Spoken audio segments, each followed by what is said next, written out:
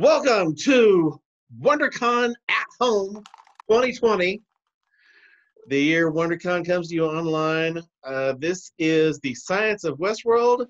We've been talking about this a couple of times at previous conventions. After each season, we've talked about the entire show, the run of the series, Westworld on HBO, where modern science and future science crash together in the Wild West and then come home.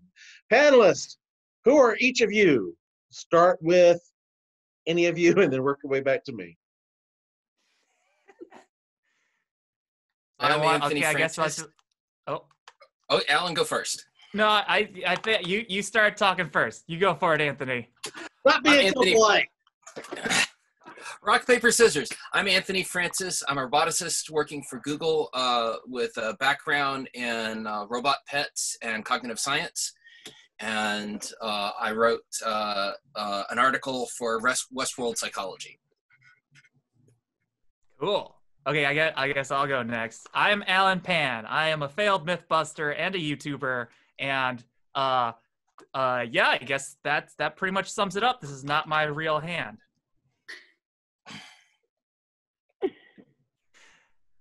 I'm Erin Currie. I'm a psychologist, also a proud contributor to Westward, uh, Westworld Psychology. I uh, have also had the opportunity to write for a couple of other uh, of our books as well because I just am a great big nerd for all things uh, science and uh, psychology. And I'm Tamara Robertson. I am a chemical and biomolecular engineer, but most of you probably know me from Mythbusters, Mythbusters Search, Mythbusters Junior. If it's Mythbusters and it's been the last couple of years you've seen me. Uh, other than that, I also like to prank people with science on SciJinx. So. And I am Dr. Travis Langley, professor of psychology at Henderson State University, at Superherologist on Twitter, best known as the author of the book Batman and Psychology, A Dark and Stormy Night, the editor and lead writer on a series of other books, including Westworld Psychology, Violent Delights. Thank you out there in the interwebs for joining us, and thank you, panelists, for joining me here and letting us communicate face to face ish uh, with fellow human beings this uh, TV series Westworld, which grew out of the old Michael Crichton film Westworld, very different story. We had wanted to talk about the original film in our Westworld Psychology book, but there's so much more to talk about with the television series, and any of the issues you can talk about with the old movie also come up in the film. One, we can simply get into why in the world would anyone want to go to Westworld or Samurai World or Future World or medieval world, some from the film, some from the TV series. Why would people want to go to any of these things? I feel like it's I feel like it's like playing make believe as a grown up, right? You know, like you don't have to stop using your imagination. And if anything, your imagination is now coming to life and you get to interact with it in real time. So I feel like the adventure and the curiosity like would lead me there and then just the awe-inspiring technology builds that they did as an engineer, I would be geeking out the whole time and just trying to figure out how all of it works. I'd probably spend more time trying to figure it out than actually immersed in just enjoying being there. I think the idea of Yeah. trying on different selves, like being in a new setting, being in a storyline, wearing different costumes, um, having a different persona, I think is really attractive. So maybe trying out a little new thing that without it necessarily having to reflect on who you are as a whole person gives you a little bit of license to play a little bit. And so I think that opportunity to role play something else can be a nice little vacation from the self. What about that role playing? Because the kind of people who are going to be our audience, many of them are accustomed to role play, cosplay uh, at other venues. Why do people want to do this sort of role playing? Some of you cosplay, I know. Why do you? There's Creates photographic connection, right? evidence. right like you know when you you you put on the the green lantern ring and the costume it, it puts you uh creates this you know visceral connection with this these worlds that you have uh, of story that you've built in your head from watching movies, reading comic books. And I can only imagine that if you're like actually not just it's like LARPing, right? You know, it's one thing to put on the sword and to to say ah, I'm a, bear, a bar- barbarian or have the you know the wand and and do it. But then if you actually like wave the wand and someone falls over in a LARP, that's a, a, a just a delight.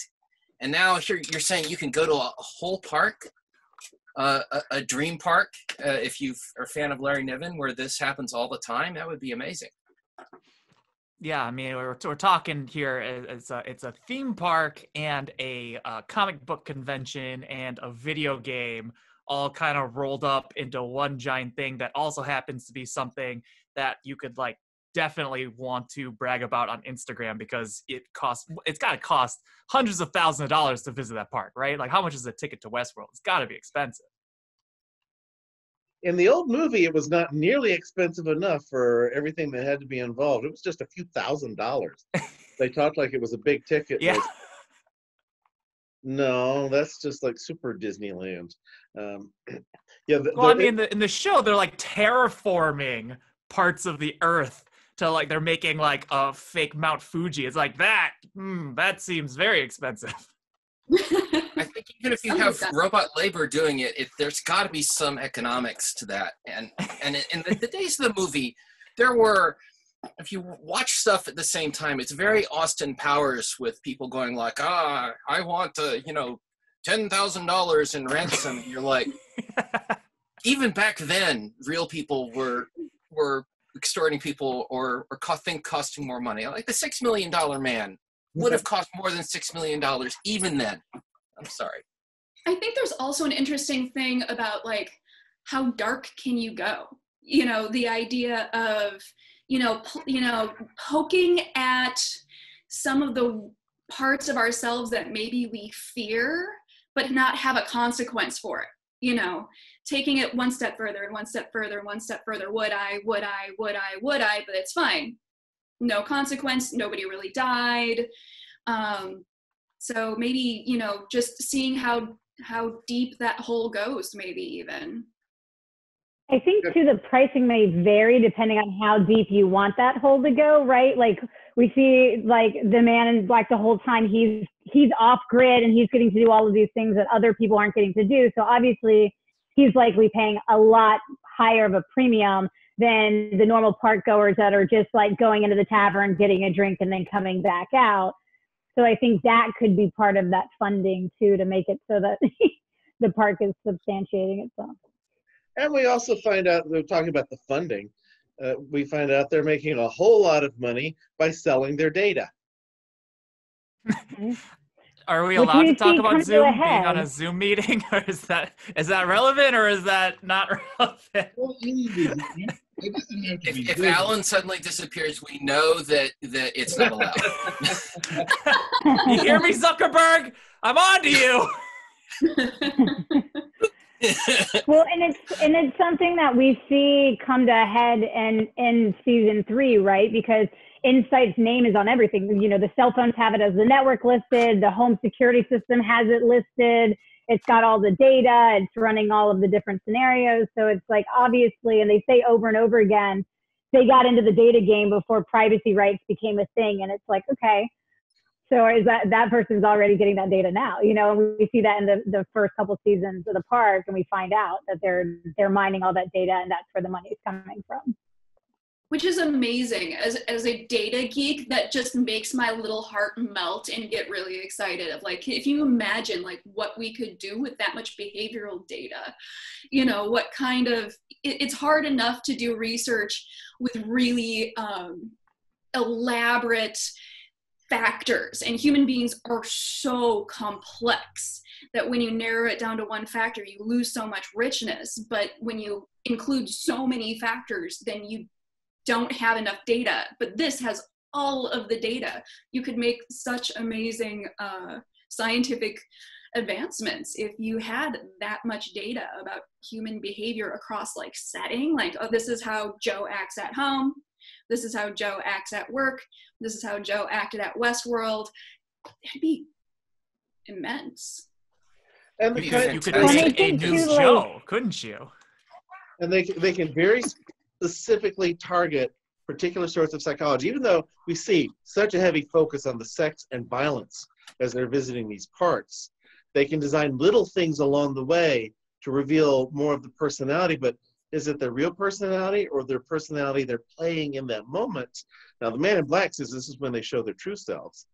But we, we know from like these tests, people say, "Oh, which Harry Potter character are you?" And then they have these 16 questions or however many questions to go plug them into what is essentially a Myers-Briggs uh, personality type inventory. They're using versions of real psychological inventory and getting people to take these questionnaires for fun. And now somebody somewhere has a file that they're putting together what you said on this personality test together with that personality test, together with those things you did. Mm-hmm. I see see Erin nodding away. Uh, I don't take them anymore. Next to never. Sometimes I succumb because no. I'm just like, like, oh my gosh, all of this data from all of these places, plus my search history, what I'm posting on Facebook. Oh no. Are you a Ravenclaw? Beyond all of that, because you've you have this this whole thing where like like today we're we're doing this stuff where we take a whole bunch of pictures and uh, and try to turn them into a set of new pictures, but that's never gonna have like the experience that the artist had that led them to paint the picture. But now in Westworld, we can set up a whole set of scenarios. Now a person you know experiences this, and then they do that, and that's a kind of modeling that we can't do today and they would have insights into human experience that would just be uh, uh, almost unachievable with, by modern standards. That's another reason to do it out in the middle of the ocean. They're outside any country's ethical guidelines. Oh yeah.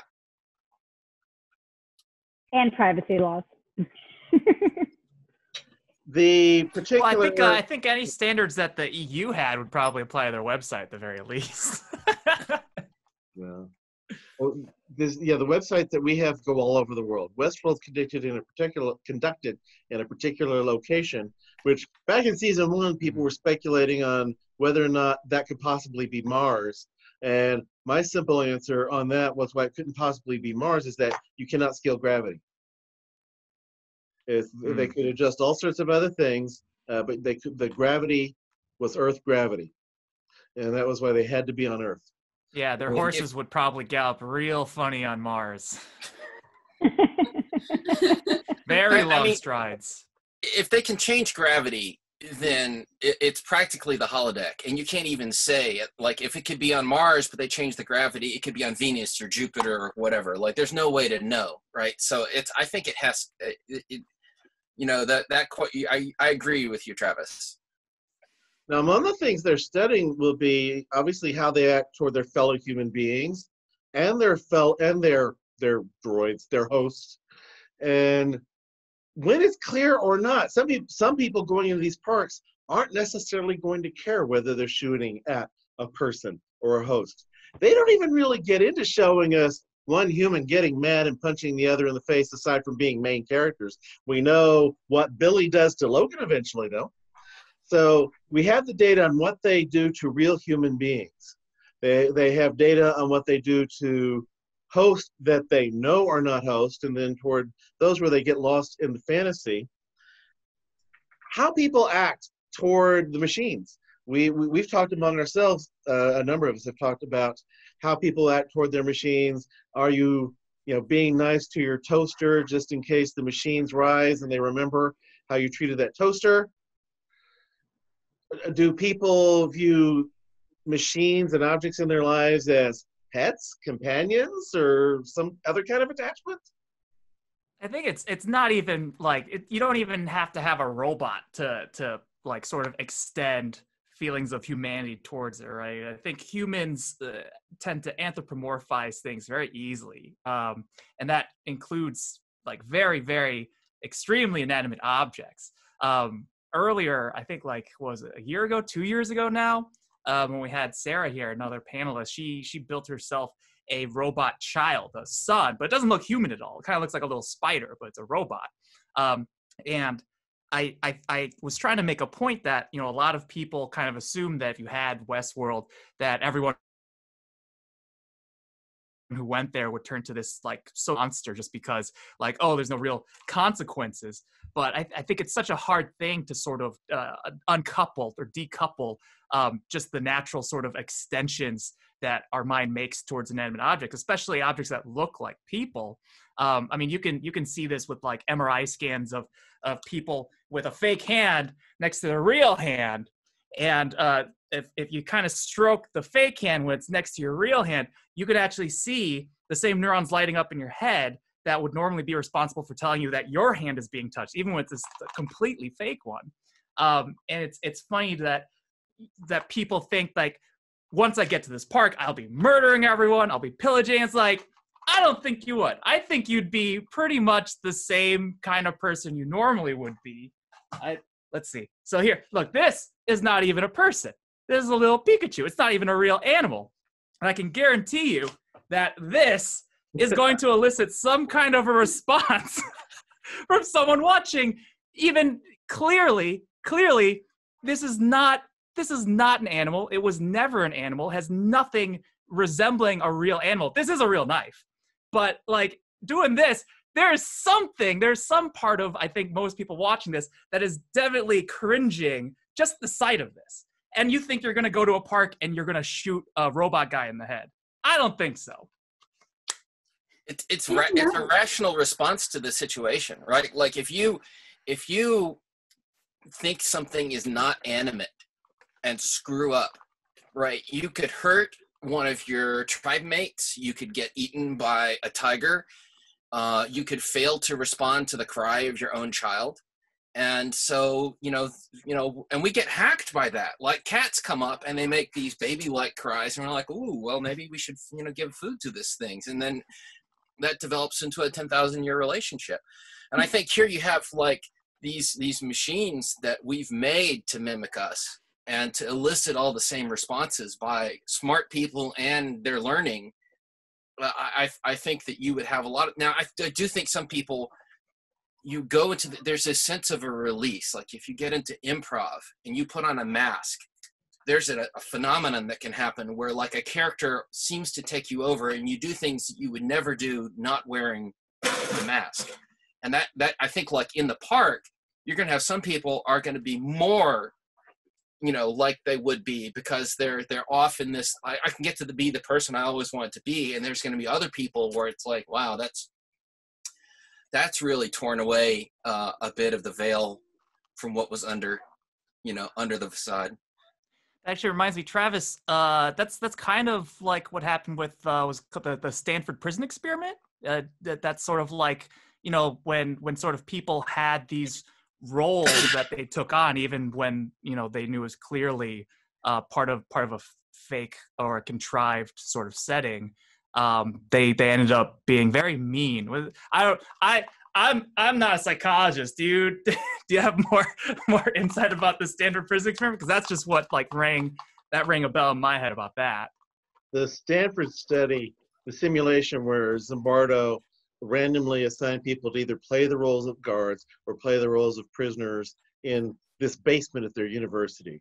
And those in the roles of guards many of them became more aggressive, much worse acting, maybe versions of themselves, maybe falling into a role. The one who acted the worst, he said he was mainly emu- emulating a particular movie character, and and he felt he was doing it in response to Zimbardo's directions. He thought that was what was wanted. So we've got growing discussions about does the Zimbardo prison study completely show what it was said to study, or were they more following his orders? But you definitely see a good demonstration of the potential for somebody being in a particular role acting as there have been a lot of other studies uh, uh, studies in which people are anonymous they act less consistently with their own personal values and more in line with the situation which might make them act worse than they would otherwise because of that disinhibiting and that de-individuation.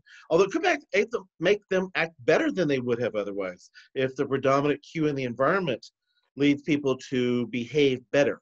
So anonymous, you might act like the other Boy Scouts when you wouldn't have at home. Anonymous, you might be more ready to help with the cross burning than you would have otherwise. I think Star Trek world versus you know cyberpunk world, you would have like the same like you know, oh wait, I might go to either one of those, right? I'll probably act really different in a Star Trek uniform as a bridge officer, like, well, yes, let's try to evacuate those people, as if I'm, you know, I got a mohawk and a, you know, laser machine gun. It's like, well, let's bust open that hospital and steal the, you know, the the masks, ha ha ha ha, right? You know, and, and it's that context this, that Westworld creates is like, when you put on those clothes that are not your clothes and and hat that's not your hat whichever color it is right then you're you're becoming something else uh you know the the everything from your that identifies you outside of westworld is gone and and now you have to create a new identity. And Well, a lot of times when people go to a new place like they change their names they change their clothes they and that's just moving right? I have friends when they move from the East Coast to the West Coast, they're like, "I- "I'm not David, I'm Dave," and they just they changed like all sorts of stuff about their lives because they wanted to have a reset.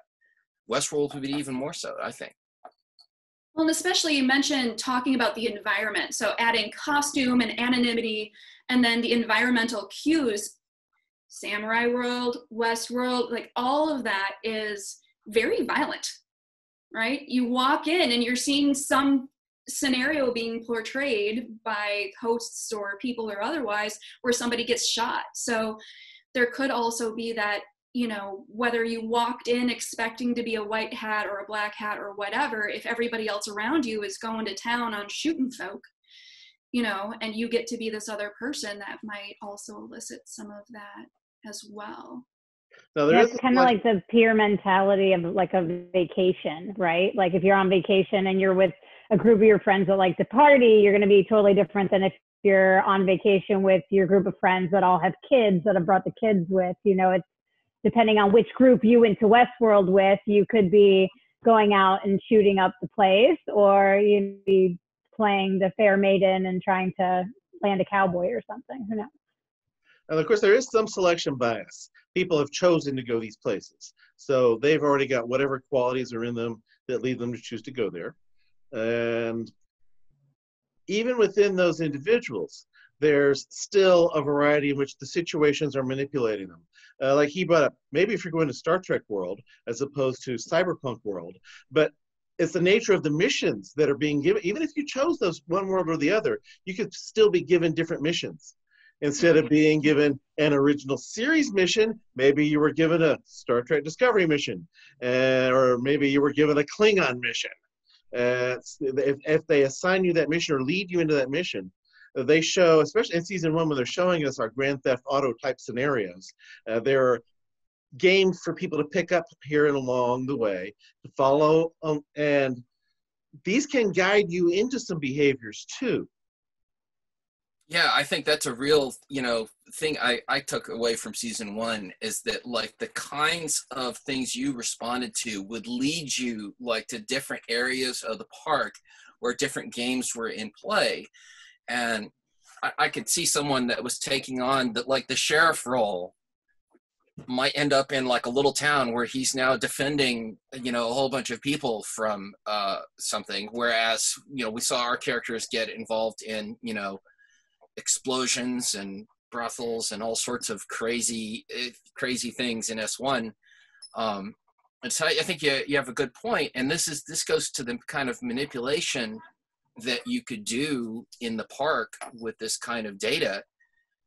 And you know if if it really is that you're going into different parts of the park and how long you stay there affects how much you you pay do they tune that to make people want to stay you know figure out is this person likely to get sucked in and stay over over stay their stay or something like what could you do with that kind of knowledge of someone's behavior I feel like if they do that already on social media for us, there's no way they didn't do it at Westworld.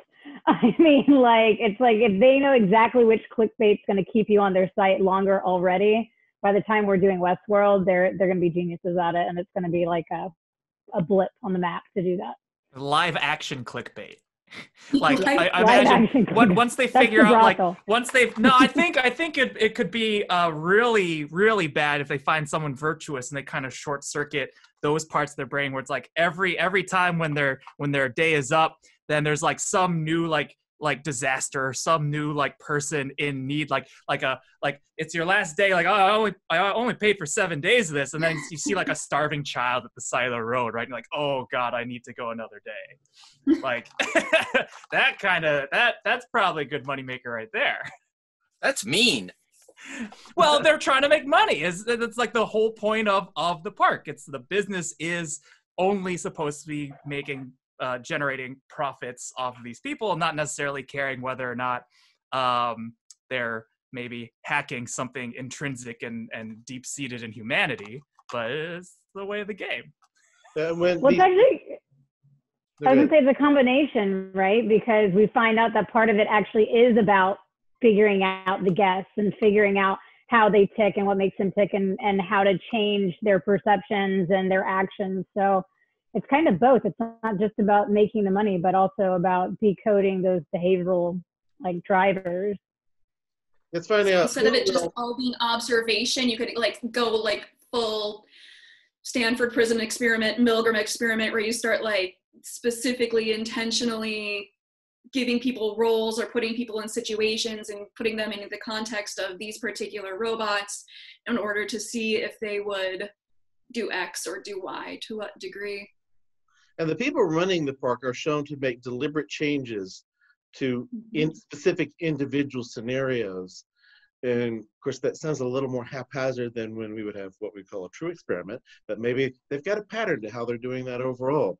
Is some people will become uninhibited in these environments and do things they thought they would not. Other people are getting manipulated into doing things they would not. You know, some people go in and say, I'm not gonna, you know, you know, shoot the robot kid, and you know, by day three, oh, they're already shooting robot kids. And someone goes, I did not spend all this money to come, you know, engage in trying to keep this family friendly with Allen's old work. I'm not going to engage in relationships with a, a hug bot in, you know, May, Maeve's saloon. And, and yet somehow they, it's like they didn't spend that much money to do that thing that they could go to certain places in the world, but they're so much more like real people. And people some not everybody but some will that will be what will attract them or maybe which they might get guided into. I've heard people talk about going to different places. Oh i'm not going to drink there and then they're drunk by the end of the night. You know, they, like someone's first visit to a strip club and they think i'm not going to pay money for one of these stupid lap dances and yet by the end of the evening that guy has spent $800 on lap dances and more so different situations bring out unexpected behavior in individuals. Get more, a little more into some of the very specific tech about the host themselves. Say you're you're building a host. What do you need to do to create one that can very effectively pass for a human being? What needs to be in there? quite a lot um, because like like if you want to create a performance right that that that uh, mimics a human being that's not interactive um, you know you can we can we can fake it right we can fake it in in uh, like you can even do it like with a cartoon they've had a thing where they have like these blocks moving around on a screen and they're only blocks and people say well uh, the, the big one is trying to chase the little one and the two little ones work together. And so our brains do that um, but as soon as you interact with it i mean uh, people remember your name. They remember different people's names in different ways. There's this whole um, you know uh, uh, library of things that people do to try to manage the information that they take in. So above and beyond getting a skin that's realistic and getting um, a dialogue that's realistic there's going to be need to be a core in there where the agents respond in a more or less appropriate way. I mean it would knock you out of the realism if you're if someone says well let me lead you to uh, this place where you can defend us from these, these bandits and the guy gets stuck trying to go around a bush right? As would happen as happens in some you know video games today. They're going to have to nail all of those basic components before they even play the game of making it realistic for humans. Right. I, I haven't actually. I'm gonna. I'm gonna go ahead and admit that I haven't actually started season three yet. Do they uh, ever? Do they have they addressed uh what what the Westworld robots like run off of? Like, do No. they got lithium batteries in there? Do they have a fuel cell and somehow food? Kind of no. They just because those robots are impressive. The the one of the toughest parts of of having a robot just kind of exist in the physical world is the power supply, like battery tech. Oh my gosh. compared to like you know like there's no moore's law for batteries like there's we don't have an exponential growth in energy density right but these robots are just on what all day every day they they kind of go to sleep but i don't know maybe they've got an induction charging system throughout the bottom of the entire park but i was all right so i was i was wondering if they addressed that. I guess they didn't. Well, Oh, that, that, that they is such a thing for such a thing for real robotics. It's just like oh well i guess we're done for the day because uh, the robot's out of power and now it's got to charge. Or if you have one that's got swappable batteries you're there okay i'm gonna go get some out of the charger and come back and like let me bring over a second oh yes. So it's like yeah I, I, that's like the most thing if you could bring back is not the computational power just give us the westworld robot batteries they all have little nuclear generators inside and they still shoot each other which seems a little dangerous but Every maybe that's also why so much of the adventure is in the daytime. They have solar. They're solarly charged. It's why uh, every does every the resets are all in the middle of the night because that's when those suckers are about to wear down anyway. right Okay, right Dolores goes off on an adventure with Billy for a week, and he never sees her stop and plug herself into something. yeah We do know they can eat. do they do they what do they do with it though do they actually get anything out of it or does it just kind of go into a sack in their bodies that has to be sucked out later Maybe they burn it. I- If they eat it, they, they, they, they burn it, and it gets turned into fuel in a much more efficient way than we we have. or they have like a like a Viable thermoelectric generation kind of a thing going on Well, we do know too. We see in the first couple seasons that they don't ever seem to get drunk when they're drinking either. And then in season three, we see drugs introduced, and that doesn't have an effect as well. So I think they're definitely burning off anything that's going into their systems in a way that it's not affecting them.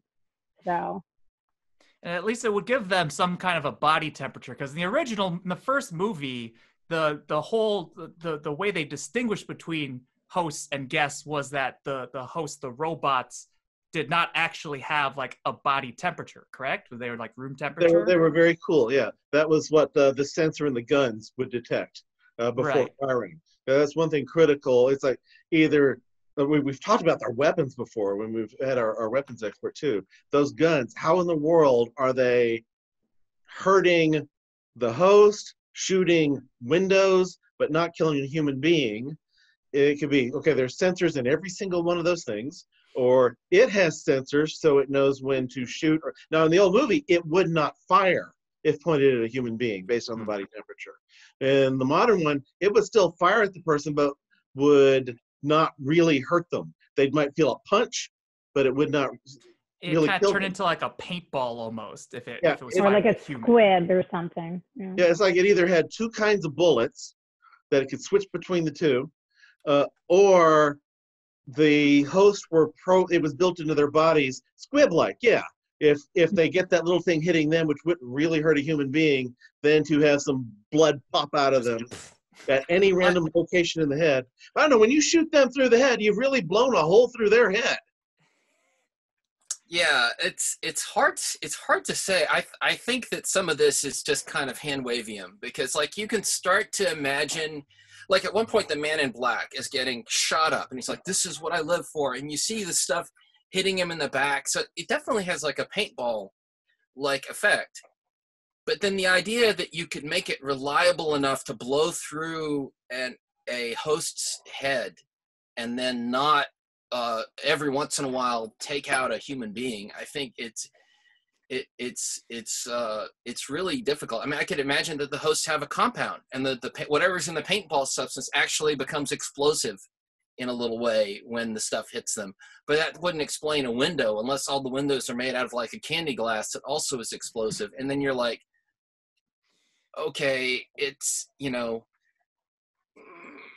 I mean, yeah. It, it, on top of that, I think when they're in Shogun World, like they they straight up also that that those same rules apply to the swords, don't they? Don't they say that the swords Mhm. also are not capable of hurting the guests and only the, it's like it's a sword and it gets it gets less sharp if it if you hit a person with it. Like But that when- one. But then it suddenly sharpens, just like those bullets suddenly become dangerous once they go into, hey, let's kill the human mode. Yeah, the sword one is is a real head scratcher. Uh, The bullets are also, but the the swords is like you know a whole level above that.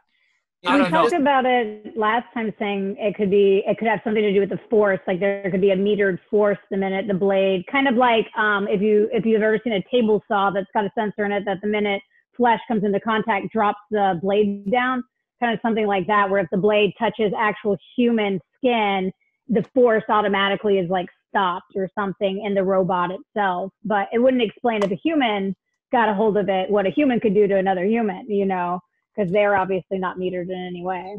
Like like say you had a It's a super sharp liability thing. Oh yeah, like yeah. Oh, liability. Good lord, that's like we shouldn't talk about like the liability of Westworld. But like, so let's say you had that super sharp sword, and it the blade like retracted inside the sword, and you whacked me over the head with it. I'm gonna have a hell of a welt, even if the the sharp part like somehow dives in there. And and um, you know, if it was like na- if it was nanomachines or something, then maybe you know the the blade is made out of utility fog and it kind of puffs up when it hits you or something. But then they could do anything in the park, and so it's like there's this a little bit almost of magic to that It's like I don't want to ask too many questions about that because then I Yeah, there's definitely some near future magic going on. I, I like to. I now I'm now imagining that Westworld is uh the their insurance, their liability insurance is entirely funded by Elon Musk because no one else will insure them at this point. All right. Uh, two part question. I sound like somebody coming up to a microphone at convention. I have a two part question. But, uh, well, the first one is no obvious science to it. The second one is what comes back to it. Do you have a favorite host? Mine is Maeve. Maeve, Mm. 100%. Yeah. Yeah I Oh, that's- I I like uh, what's her name, Clementine, the one that they they sort of get Maeve's programming into at the end of season two to sort of like act as a as a counter Maeve. She's she's got that uh, crazy manic uh, Helena Bonham Carter energy that I that I really like at the end of that one. And, and just that, that actress's unreal eyes really play to that too. Uh, I would have to say my favorite is the one with the uh, the snake tattoo. Armistice. Ah, yeah, yeah, Yes. yeah. I remember her. hmm Uh, So why do we have a favorite? Is it are these things really sentient? Or are we falling into some of the same traps we were talking earlier on? Uh, when, when we're becoming attached to one as opposed to another. Why is Maeve, why is Maeve the favorite? It's uh, if if they aren't real. So are we accepting the possibility that the machines actually can be sentient? They're presented as having become sentient. Mhm. I mean, I think it comes back to like what we were talking about with cosplaying. Um, you know, you you bond with characters and character lines that you just feel like resonate with you in some way. And I think that Maeve's character line of her trying to like do what's right and be able to help people like and not out of a want for control or power but just to be able to help people like i think that's something that's easy to gravitate towards like for me at least from a character standpoint but it's not it has nothing to do like in my mind i'm not like maeve's real that's why i like her more it's more like oh this character and the way that they've written this character and the way that she's been developed and and portrayed is is a really great character Can we ever know if a machine has actually become sentient? Hmm. That's a that's a great question, um, and I think the so so we got a if if you're a scientist and you study like this this really seriously, there's always a chance that we're going to find that what defines us is not uh, our programming or our behavior but something very very real about how our bodies function. Like it could be that consciousness is part of what it means to be alive. Uh, searle is a philosopher that believes in that. But for ai guys and cognitive neuroscience guys we, we push really hard on the idea well let's try to explain it the other way. And and in that case it's like we're starting to get ideas about what makes up consciousness what makes up uh, emotion what makes up you know memory that we didn't have 10 20 30 years ago. Like the the like every new edition of the cognitive neurosciences that comes out there are more discoveries that we make. So i think it's entirely possible that we could say if consciousness is about us integrating everything that we have in the world and having uh, you know a thing that we pay attention to and that guides uh, our decision making and that that intellect is being able to then to apply that to anything in our life and saying like now that i've made this this decision i can look at all of myself and say do i rise to the standard i've set for myself? We could actually say well that machine is doing the same kind of thing that a person does when it gets into a when we go into a situation and say well i pick on the white hat or the black hat and the machine could do that too. But then we could build it and then find out well no we were wrong. So it's like i believe the answer is yes but it's it could be a harder problem than we think. I, I'm I, I'm curious, um, uh, Anthony. What, what are your thoughts on um, like some methodology like uh, like the Turing test or like in fiction, sort of the fictional Voigt-Kampff test in Blade Runner, like something like that as sort of a a like uh, metric for telling if we've you know achieved a sentient machine or not. And I for think a it- viewer who doesn't know, what are these tests? so like Oh, the yeah. Turing Ex- explain it. it. Now that I've brought up the subject, Anthony, explain it all. Oh, you, you can explain it since you asked the question. you asked no, the no, I like making him do the work. Oh, okay. So the the Turing test, uh, th- the brief version, not going over the whole complicated one that Turing himself set up. The brief version of the Turing test is, do you, you have you set up a human and a machine, which are being interrogated by an interrogator that can't see them physically, and and you're having like a conversational question back and forth, and the a machine is said to pass the Turing test if the human cannot reliably the, the interrogator cannot reliably distinguish the human from the machine. And that is i mean this is when we do generative deep learning when we try to uh, uh, try to generate output behavior that people do we do this. We have one machine that's actually trying to figure out what's fake and one of them that's trying to beat that I think that's just the ante to play the game though, because like that that's a very artificial situation. Now now what happens when you get out there in the world and ask that person to say, Well, yeah, you're you're real. Now can you um uh, you know, drive with me on a road trip to, you know, uh, you know, Portland and let's go visit the sites. Now well well it was a great conversationalist, but it, it can't see, it can't uh stop and, and go get some soda you know while you're while you're putting getting gas. Like there's thousands and thousands of things that we do. And it's not just the physical bodies in our life there's an intellectual component to almost every physical task that we do. So i think that like the turing test is just like the ante. If like we got that far they'd be like well that's that's great. That part of it doesn't suck. Now there's 10000 more What what about just making uh making the robots click on that uh checkbox that you sometimes get as a captcha that asks if you're a robot? well no Would that's a hundred that's a that's a hundred percent reliable so Oh, okay, good. All right, so I'm glad actually- we got that. Yeah, so so the deleted scene in Blade Runner, you know, where they're like, okay, now just click on this, and he's like, I'll click on this, blam, and yeah, the Voight-Kampff box opens up. It's a hologram projection of the checkbox. So, and, and you touched on this. We're, we're, we're pretty close to the end. We've been at this for a while. It flies by. We've done this panel at WonderCon and San Diego Comic Con after each season. So this is at least our fifth time to do this. And it still flies by pretty quickly. It, these are topics that are just fascinating to us. Some of it gets into the question of what is a human being? And who could get lost in the machines, who could fall in love with machines, what would we do, where are these characters that we're invested in going, and tie back to things we brought up earlier and that Anthony just referred to. Do you think you'd wear the white hat or the black hat on your way to Westworld? And do you think you'd still be wearing the same color afterwards? All of you. hmm. Why don't they have brown? A gray hat. It's part of the manipulation. For me, I'd have to say the white hat. I know myself well enough to know that I would over empathize with every single robot there. But here's where it would go down the rabbit hole. The second some little like kid or like little dog or whatever was in trouble and about to be shot, oh, that's my moment. That's my moment to get past all of my like, we're all humans and I have empathy.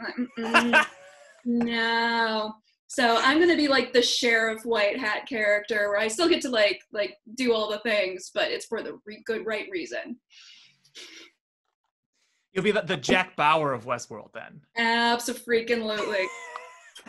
What hat would you wear, Allen? Oh boy. Um, uh, I think I would say uh, I would wear. I think I would wear a white hat, and then I would just kill like one guy just to see what it's like. but white hat, white hat, but just one guy, just to just just to double check. Like, yeah, yeah, this is the right color hat. Uh, that wasn't into that at all. That was gross. I think I think I would wear the black hat. But we've when we've done this panel before, I've said it. Um, so if you've heard this before, then you know. But I would wear it because I have this idea in my mind that the hosts uh, recognize your hat as which paths you get to go on. And my worry is that a white hat might be like the PG 13 rating, and I want to be able to like have the access and then choose for myself whether or not I like actually do the things. But I don't want this park that, you know, at this point we've decided we've paid a ton of money to be at telling me which one I can't do. So I would I would do the black hat. I'd probably still lean heavily white, but I would at least have the options to go and see the the things that the black hat unveils. I guess that's true, right? Because some some people bring their whole families to this stupid park, and they they must have a separate section.